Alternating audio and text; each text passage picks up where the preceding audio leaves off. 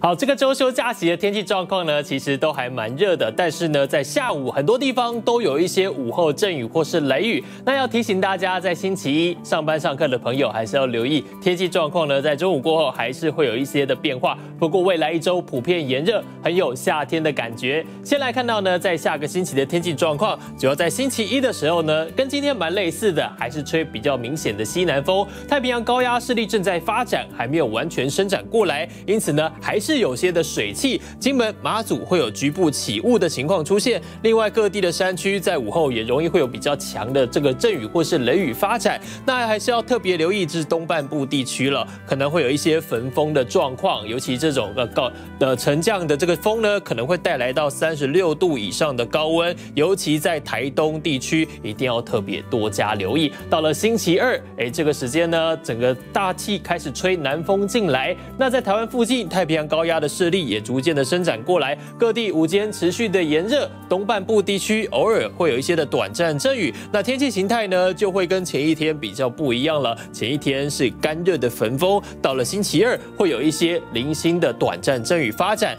各地大致天气晴朗，午后呢偶尔零星有一些的阵雨发展。从星期三开始，高压的势力呢是完全的伸展过来，那水汽呢会更加的少一些。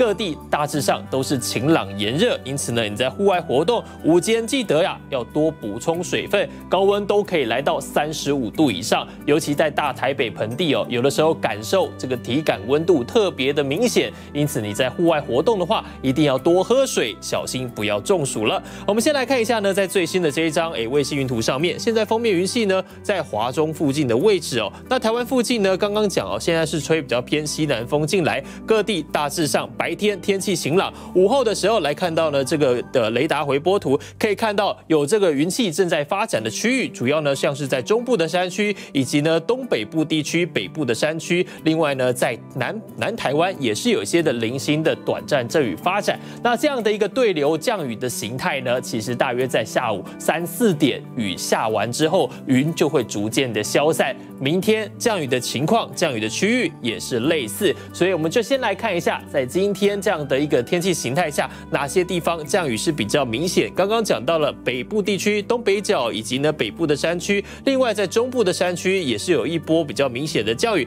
那今天最明显的呢是在南投，那在鱼池呢大约是有在一百一十六毫米左右的降雨量，像是在日月潭大约也是有八十几毫米。不过呢，我们可以留意到的是，除了降雨之外，午间的高温其他地方也是蛮明显的，尤其刚刚讲到随着西南风沉降作用，在台东的大武今天是飙上了三十六点三度，感觉上面呢真的是哎非常非常的热。那另外呢，在台南同样也是有飙上三十六度以上，台北市区都在三十五度左右。明天天气状况类似之下，大家一定要多加留意。那目前看一下在卫星呃这个地面天气图，可以注意到刚刚讲的哎整个封面带现在持续在往北抬。现在接下来的接下来这几天之后呢，随着太平洋高压势力逐渐的伸展过来。天气就是持续的稳定了。那接下来只要比较没有明显的这个封面往南压的话呢，就是正式宣告进入了夏季的天气形态。台湾附近主要都是偏西南风到南风进来，西南风会带一些的水汽，偏南风的时候呢，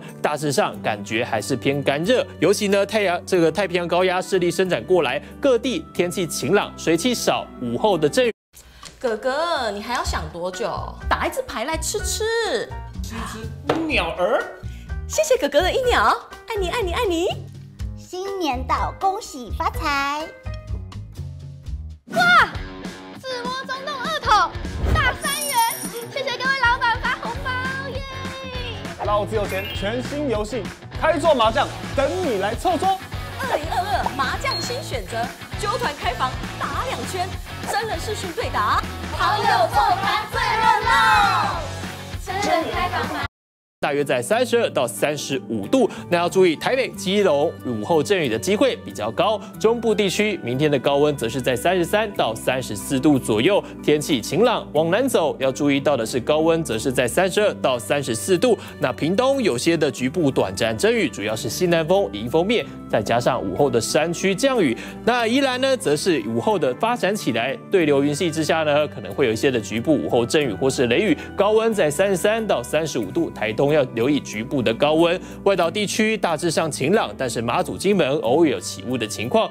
未来一周的天气状况大致上面都还是持续受到了高压的影响，但是在星期一、星期二水汽量稍微还是偏多之下呢，偶尔午后会有一些的阵雨或是雷雨。外岛地区同样大致上天气稳定。星期二的时候，马祖的降雨几率稍微高一些。小丁，您要提醒大家两件事情：午间偏热，外出记得防晒补充水分。另外呢，在中午过后，局部地区尤其靠近山区有阵雨，行车注意安全，记得携带雨具。我是陈志恩，广回来，请您持续锁定中。